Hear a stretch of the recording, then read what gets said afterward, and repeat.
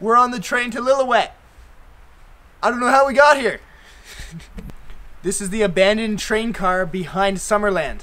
And this is from a bygone era when people would ride the train to Lillooet and down the Fraser Canyon to Vancouver. We no longer do that. But look, it's a piece of history.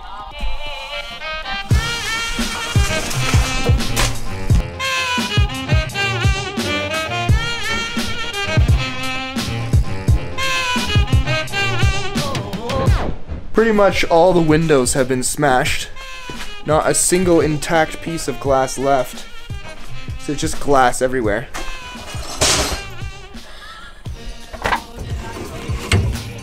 How did I get it open way up here?